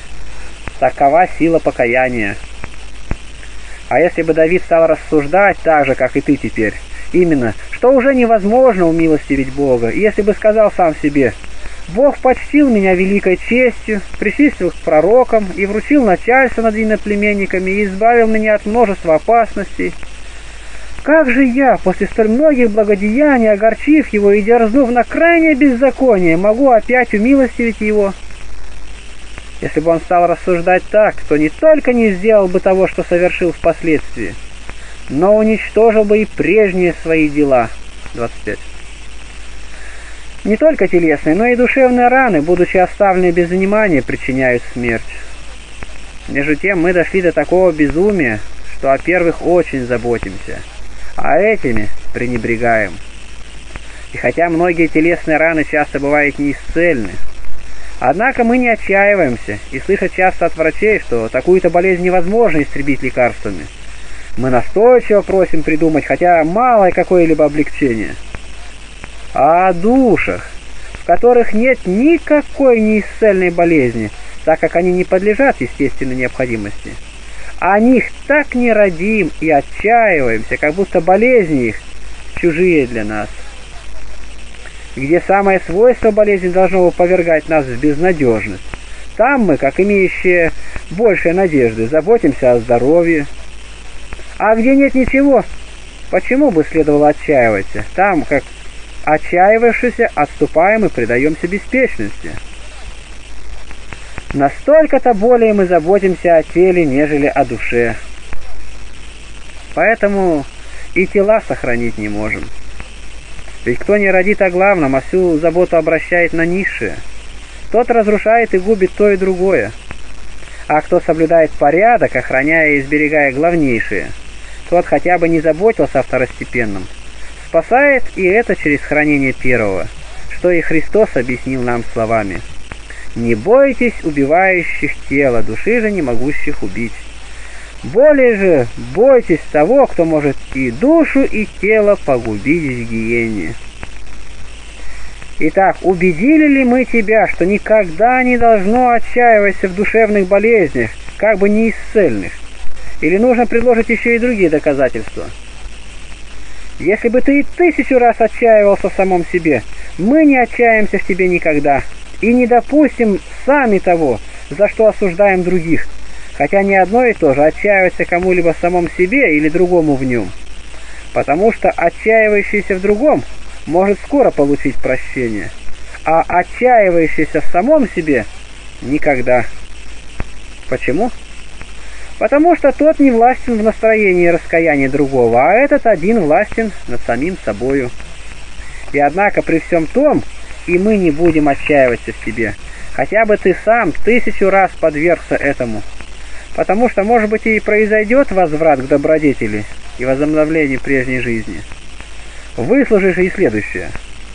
Ниневитяне, услышав сильную и ясную угрозу пророка, «Еще три дня, и Ниневия будет разрушена!» И после этого не упали духом. И хотя не были уверены, что умолят Бога, а скорее могли опасаться противного по поводу пророчества, ибо оно произнесено было не с каким-нибудь ограничением, но как прямое определение. При всем этом оказали раскаяние и говорили, кто знает, если раскаяться, и умолен, быть может, будет Бог, и обратиться от гнева ярости своей, и не погибнем. И увидел Бог дела их, что обратились от путей своих лукавых, и раскаялся Бог о зле, о котором говорил сотворить им, и не сотворил. Если же люди варварские и непросвещенные могли быть столь благоразумными, то гораздо более должно поступать так нам – которые научены божественным догматом и видели великое множество таких примеров и в словах, и в делах. Ибо мысли мои не ваши мысли, но как и пути мои не ваши пути, говорит Господь. Но как отстоит небо от земли, так отстоит, отстоят мысли ваши от мыслей моих. Исайя 55.8 «И пути мои от путей ваших». Если часто и мы, провинившихся слуг, когда они обещают исправиться, принимаем и опять удостаиваем прежней чести, а нередко оказываем им еще большее доверие, то гораздо более Бог. Ведь если бы Он создал нас для того, чтобы наказывать, то справедливо бы ты сомневался ты и опечаливался в своем спасении – но если Он сотворил нас по единой только благости, для того, чтобы мы наслаждались вечными благами, и к тому же устрояет и направляет все от первого дня до настоящего времени, то что побуждает нас предаваться сомнению? То ли, что мы сильно прогневали его, как никто другой из людей, но потому-то особенно и должно отстать от настоящих дел и раскаяться в прежних и показать большую перемену ибо не столько могут раздражать его соделанные нами однажды грехи, сколько нежелание перемениться. Грешить еще свойственно человеку, но коснеть во грехах – это уже не человеческое, а вполне сатанинское дело. Смотри, как и через пророка Бог порицает последнее больше первого. И вот говорит – когда прелюбодействовала она после всего, то обратись, говорил я, и не обратились. Иеремия 3.7. И в другом месте опять, желая показать, сколь великое он имеет попечение о нашем спасении. Лишь только услышал, что израильтяне после многих беззаконий обещали идти правым путем, сказал, Второзаконие 5.29, «Кто даст, чтобы быть так сердцу их в них?» чтобы боялись меня и хранили заповеди мои во все дни, да будет им благо и сынам их вовеки». И Моисей, обращаясь к ним, сказал, «И ныне, Израиль, что просит Господь Бог у тебя?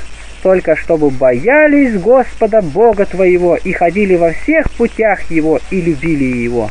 Второзаконие 10.12.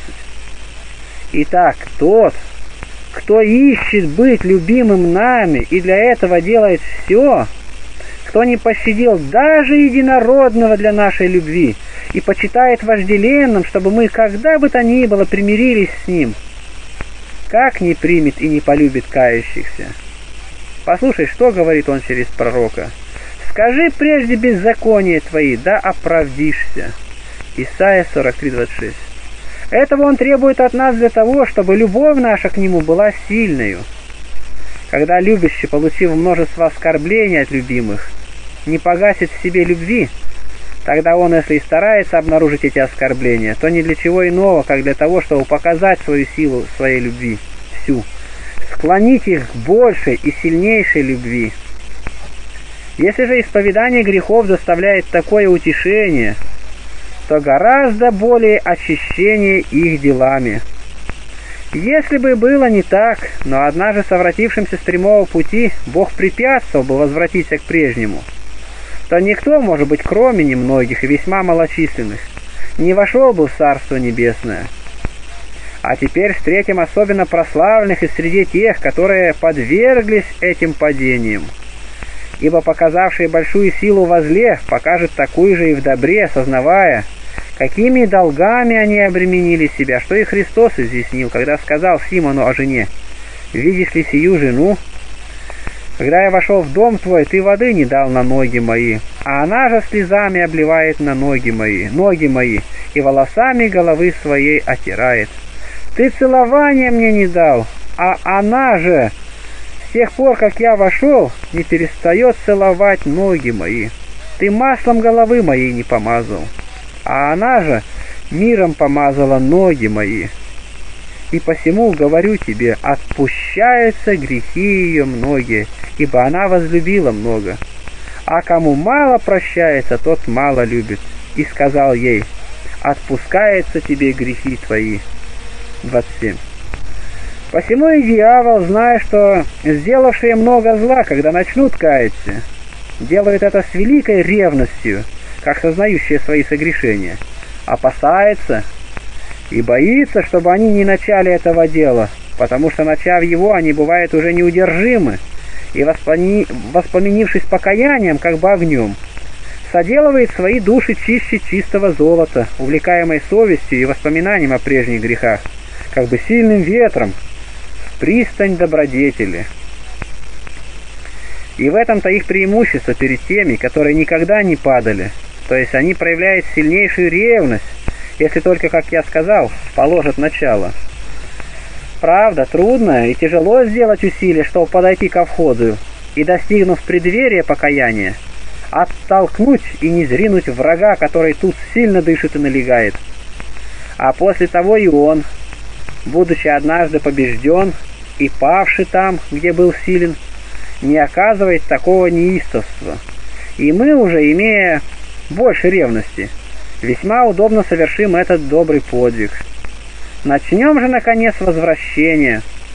Поспешим в оград небесный, в котором мы вписаны, в котором и обитать надлежит нам. Отчаяние гибельно не только потому, что затворяет нам врата этого града и приводит к великой беспечности и небрежению, но и потому, что ввергает сатанинское безумие – ибо и дьявол сделался таким же не от чего-либо другого, как от того, что сперва отчаялся, а потом от отчаяния впал в безумие. Так и душа, однажды отчаявшись в своем спасении, уже не чувствует потом, как она стремится в пропасть, решаясь и говорить, и делать все против своего спасения. Как сумасшедшие, раз лишившись здравого состояния, ничего не боятся и ничего не стыдятся – но безбоязненно отваживаются на все, хотя бы пришлось им попасть в огонь или в море или в пропасть. Так и объятое безумием отчаяние неудержимо устремляется на всякое зло. И если смерть не постигнет их и не удержит от этого безумия и стремления, причиняет себе множество бед.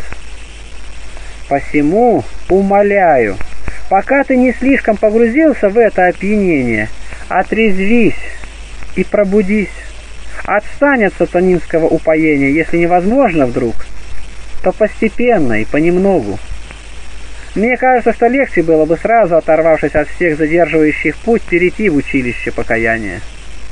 Если же это представляется тебе трудным, то как хочешь, так и вступи на путь, ведущий к лучшему, только вступи, и получишь жизнь вечную.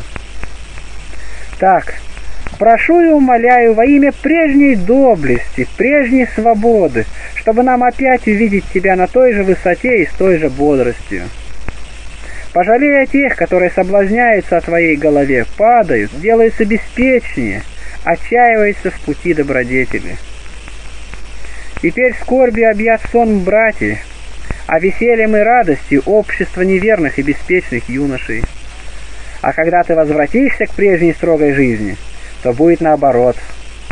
Наш стыд весь перейдет на них, а мы будем чувствовать великую отраду, опять видеть тебя увенчиваемым и прославляемым с великим блеском.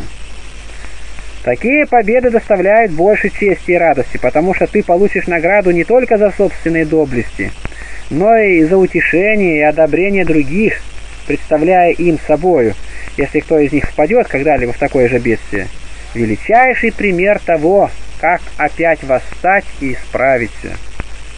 Не пренебрегай же такой пользой и не своди в ад с печалью души наши, но дай нам вздохнуть и рассеять окружающее нас облако печали о Тебе. Мы теперь, оставив свои горести, оплакиваем Твои несчастья. Если же ты захочешь отрезвиться и открыть глаза, и присоединиться к ангельскому воинству, то и от этой печали избавишь нас и изгладишь большую часть грехов наших. А что обратившимся через покаяние можно просиять много и светло, а часто даже и более тех, которые не падали с самого начала, это мы показали из божественных писаний. Так и мытари, и блудницы наследуют Царство Небесное – так многие из последних становятся впереди первых. 29. Расскажу тебе о том, что случилось при нас, и чему сам ты можешь быть свидетелем. Ты знаешь молодого сына Урбанова, Финикса, который остался сиротой в юности и был владельцем множества денег, рабов и полей. Прежде всего оставив занятия науками в музеях и сбросив с себя светлую одежду и всю гордость житейскую – а затем тотчас, надев худую одежду и удалившись в пустыню на горы, он обнаружил большое любомудрие, не только по возрасту, но и в сравнении с великими и дивными мужами. После того, удостоившись священного участия в таинствах, он еще более преуспевал в добродетели. И все радовались и славили Бога, что человек, воспитанный в богатстве, имевший знаменитых предков, еще весьма молодой, вдруг, поправ всю пышность житейскую, достиг истинной высоты. Когда он был в таком состоянии и возбуждал удивление, некоторые развратители по праву родства, имевшие над ним надзор, опять увлекли его в прежний круговорот. Бросив все, он, скоро сойдя с гор, опять появился на торжище, и, восседая на коне со множеством спутников, Ездил по всему городу и уже не хотел любомудрствовать. Пламенея великим сладострастием, он по необходимости предавался нечистой любви, и не было между близкими к нему никого, кто бы не отчаивался в его спасении. Его окружала толпа льстецов, к тому же присоединилось сиротство, молодость и огромное богатство. Люди, склонные легкомысленно порицать все, стали обвинять тех, которые сначала обратили его на тот духовный путь, утверждая, что он и в духовных делах не удался, и к своим делам будет негоден, так как прежде времени, оставив занятия науками, не мог извлечь из них никакой пользы. Когда это говорилось и происходил великий позор, некоторые святые мужи, часто уловлявшие такую добычу, и по опыту хорошо знавшие, что вооруженным надеждами на Бога не следует отчаиваться в таких делах. Постоянно следили за ним. И, завидев его появлявшимся на торжище, подходили к нему и приветствовали. Сперва он прямо с лошади разговаривал с ними, причем они следовали за ним по бокам. Такое бесстыдство сначала было в нем. Но они, сердобольные, чадолюбивые, нисколько не стыдились этого, а смотрели только на то, как бы отнять у волков овцу, чего и достигли терпением. Ибо впоследствии он, как бы от какого ума иступления придя в себя и устыдившись великой заботливости их, лишь только издали усматривал, что они идут к нему, тотчас соскакивал с лошади и, опустив взор, с молчанием выслушивал от них все, и с течением времени все более и более стал оказывать им уважение и почтение. Таким образом, они, по милости Божией, мало-помалу освободив его от всех этих сетей, возвратили прежней пустыне и любомудрию. И теперь он настолько просиял, что прежняя жизнь его представляется ничем по сравнению с жизнью после падения. Хорошо на опыте узнав искушение, он все богатство раздал бедным и, освободившись от забот о нем, отнял у желающих строить козни всякий к тому предлог – и теперь, шествуя по пути к небу, достиг уже до вершины добродетели. Но этот еще в юности и пал восстал. А некто другой, после многих трудов, понесенных им в пустынном жительстве, имея одного только сожителя, ведя ангельскую жизнь и достигнув уже старости, не знаю каким образом, по какому-то сатанинскому ухищрению и собственной беспечности своей, дав лукавому доступ к себе – впал в похоть общения с женщинами. Человек, никогда не видавший женщины с тех пор, как вступил в монашескую жизнь. Сперва он попросил сожителя дать ему мясо и вина и угрожал, если не получит этого, уйти на торжище. А говорил он это не столько потому, что хотел мяса, сколько для того, чтобы иметь повод и предлог отправиться в город. Тот, недоумевая и боясь, чтобы, отказав ему в этом, не причинить ему большего зла, удовлетворяет его желанию. Когда же он увидел, что хитрость его не удалась, то уже с явным бесстыдством сбросил притворство и сказал, что ему непременно надо сходить в город. Тот, не будучи в состоянии остановить его, наконец отпустил. И, следуя за ним издали, наблюдал, к чему уклонилось это его путешествие. Когда же увидел, что он вошел в непотребный дом и узнал, что он сообщился с блудницей, то, подождав, пока он удовлетворил нечистую похоть свою, и вышел оттуда, принял его с распростертыми руками, обнял и горячо поцеловал, и, нисколько не упрекнув за сделанное им, просил только, чтобы он, так как удовлетворил уже свою похоть, опять возвратился к пустынножительству. Этот, устыдившись великой кротости его, мгновенно был поражен в душе и, почувствовав сокрушение о грехе, последовал за ним на гору. И пришедший туда попросил того мужа, чтобы он, заключив его в другой келье и заперши двери ее, доставлял ему хлеб и воду в известные дни.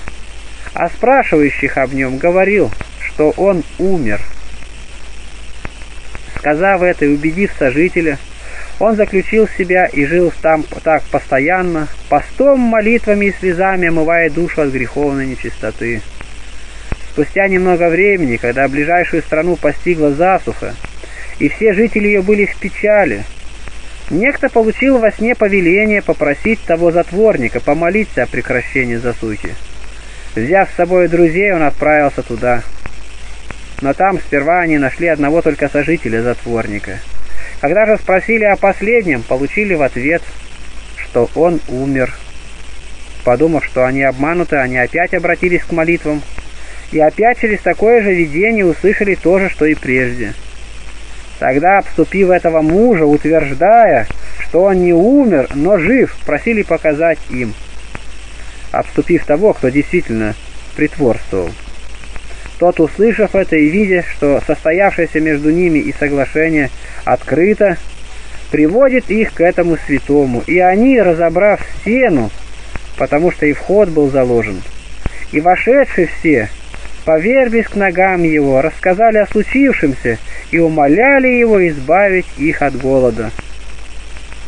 Сперва он отказывал им, утверждая, что он далек от такого дерзновения – так как непрестанно имел перед глазами свой грех, как бы сейчас только совершенный. Когда же они рассказали обо всем случившемся, то убедили его помолиться, и помолившись, он прекратил засуху. А о том юноше, который был сперва учеником Иоанна Зеведеева, потом долгое время начальником разбойников, и опять уловлен святыми руками блаженного, и из убежищ и пещер разбойничьих возвратился к прежней добродетели, тебе самому не безызвестно, и ты точно знаешь все не хуже нашего. Потому что я часто слыхал, как ты удивлялся великому снисхождению Иоанна, который сначала поцеловал окровавленную правую руку юноши, обнял его и таким способом привел его в прежнее состояние. 31. Также поступил блаженный Павел в отношении Анисима, этого негодяя, беглеца и вора. Такого-то человека он не только сам принимает в объятия, когда тот переменился, но и господина его просит оказать покаявшемуся одинаковому спасителям честь, так говоря, Филимону, стих 10. «Прошу тебя о сыне моем Анисиме, которого родил я в узах моих. Он был некогда негоден для тебя, а теперь годен тебе и мне.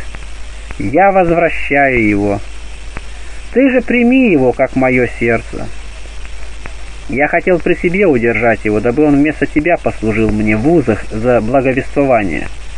Но без твоего согласия ничего не хотел сделать чтобы доброе дело твое было не вынуждено, а добровольно. Ибо, может быть, он для того на время отлучился, чтобы тебе принять его навсегда, не как уже раба, но выше раба, брата возлюбленного, особенно мне, а тем более тебе, и по плоти, и в Господе. Итак, если ты имеешь общение со мной, то прими его, как меня. И в послании к Коринфянам он же говорит – чтобы пришед мне не плакать о многих согрешивших прежде и не покаявшихся. И еще, как прежде говорил, и ныне предваряю, когда приду, не пощажу. Видишь ли, кого он оплакивает и кого не щадит? Не тех, которые согрешили, но которые покаялись, и не просто не покаялись, но после одного и двух увещаний к раскаянию не захотели послушаться. Выражение «прежде говорил» и «еще говорю», что «был у вас» второе и отсутствие «пишу» означает не что иное, как это, чего должно опасаться, чтобы и с нами не случилось теперь. Ибо хотя нет при нас Павла, который угрожал Коринфянам, но предстоит Христос, который через него говорил тогда, и если мы не перестанем упорствовать, он не пощадит нас, но сильным ударом поразит и здесь, и там. Посему предварим лицо его во исповедании и зальем перед ним сердца наши. Согрешил ли, и говорит Писание, не прилагай к тому, а о прежних грехах твоих молись. Сираха 21.1. И еще, праведный себя самого оглагольник в первословии. Притча 18.17. Не будем же ждать обличителя, но ранее займем его место и таким образом своей откровенности сделаем судью более милостивым. Я хорошо знаю, что ты исповедуешь свои грехи и чрезмерно сокрушаешься, но я хочу не этого только, а желаю убедиться, желаешь ли ты оправдать себя и делом, пока это исповедание ты не сделаешь плодотворным, до тех пор, хотя и будешь осуждать себя, не можешь отстать от последующих грехов. Никто ничего не может делать с усердием надлежащим образом, если наперед не будет убежден, что это дело принесет пользу. Так сеятель после посева семян, если не будет ожидать жатвы, никогда не будет и жать. Разве кто стал бы трудиться напрасно, не надеясь получить ничего доброго от своего труда? Так и сеющие слова, слезы и исповедания, если делает это без доброй надежды, не может отстать от грехов, как одержимый еще пороком отчаяния. Но как земледелец, отчаявшийся в произрастении плодов, уже не станет отвращать того, что наносит вред семенам, так и сеющий слезное исповедание – но не ожидающий от него никакой пользы, не будет в состоянии отклонить того, что вредит покаянию. А вредит покаянию коснение в одних и тех же грехах. Серахов 34.23. Когда один строит, а другой разрушает, то что они получат для себя, кроме утомления? Когда один молится, а другой проклинает, чей голос услышит владыка? Когда кто омывается от осквернения мертвым и опять прикасается к нему? Какая польза от его омовения? И еще, так человек, который постится за грехи свои, опять идет и делает то же самое. Кто услышит молитву его и какую пользу получит он от того, что смирился? И как пес, который возвращается на блевотину свою и мерзок бывает, так безумный своей злобой возвращается на свой грех. Притча 26.11. 33. Итак, объявляй грех свой не только как осуждающий самого себя, но и как долженствующий оправдаться посредством покаяния. Тогда ты и будешь в состоянии побудить исповедующуюся душу не впадать более в те же грехи. Ибо сильно осуждать себя и называть грешником есть дело общее, так сказать, и неверным. Многие и из действующих на сцене, как мужчины, так и женщины, наиболее отличающиеся бесстыдством, называют себя каянными, хотя не с надлежащей целью. Посему я и не назову это исповеданием, потому что они объявляют грехи свои не с душевным сокрушением, не с горьким плачем и не с переменой жизни, но одни из них делают это с тем, чтобы откровенностью своих слов получить славу у слушающих, так как грехи не одинаково кажутся тяжкими, когда другой кто открывает их и когда сам согрешивший. Иные вследствие сильного отчаяния, впадшие в ожесточение и презирая славу человеческую, с крайним бесстыдством объявляет всем собственные пороки, как бы чужие. Но я желаю, чтобы ты не принадлежал к числу их, что приступал к исповеданию не с отчаяния, но с благою надеждою, и с корнем вырвав отчаяние, оказал противоположную ему ревность. Что же служит корнем и матерью отчаяния? Беспечность. Вернее, можно назвать ее не только корнем, но и питательницей и матерью. Ибо как шерсти порча рождает червей и обратно сама умножается от них, так и здесь беспечность рождает отчаяние.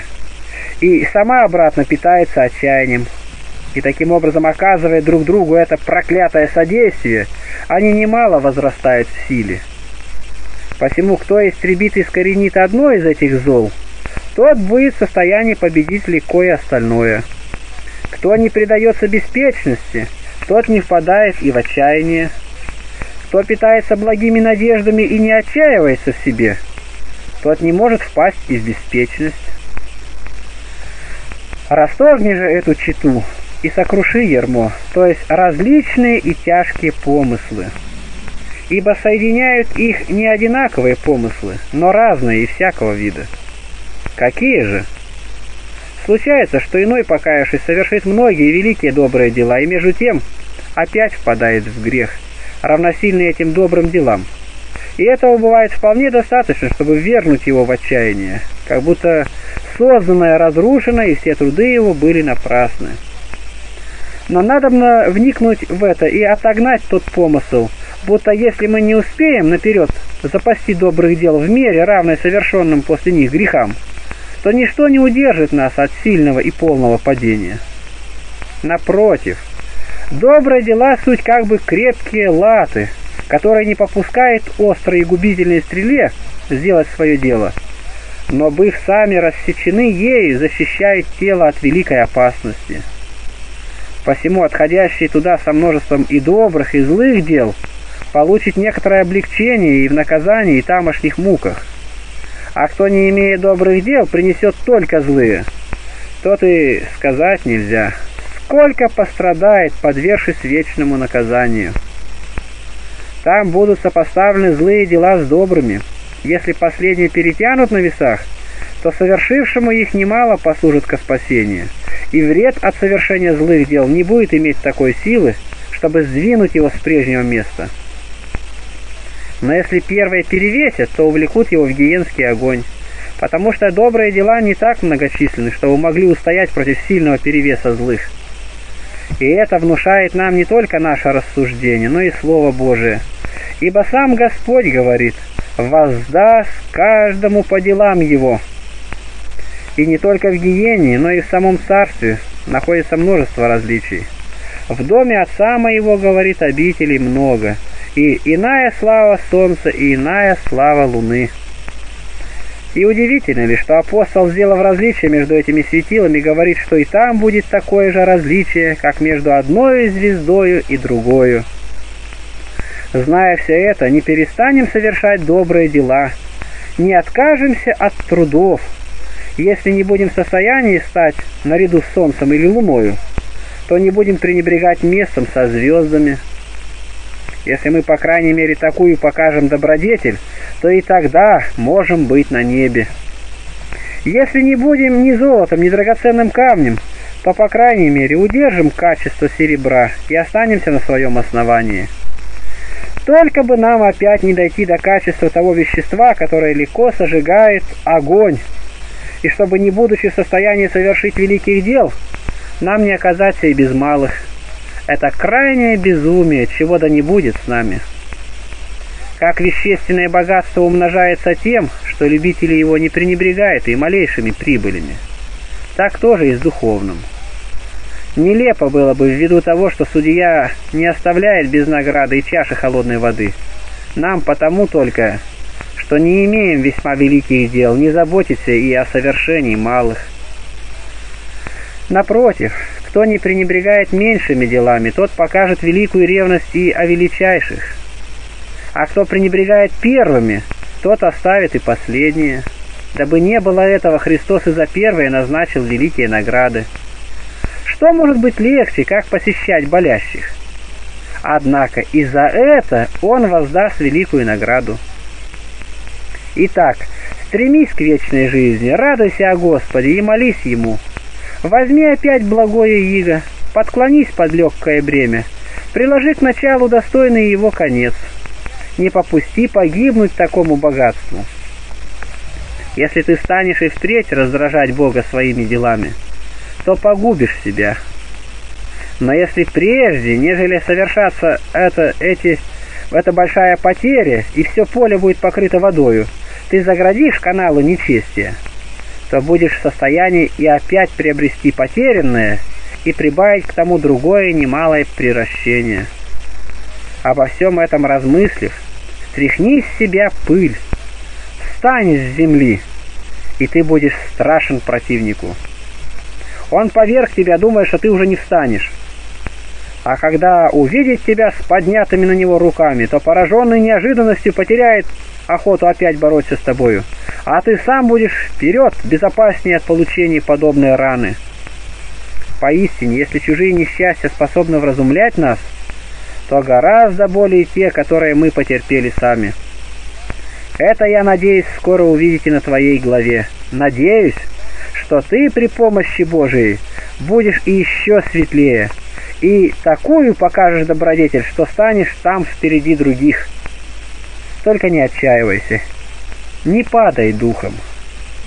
Это я не перестану повторять тебе при всякой беседе, где бы тебя не увидел и через других.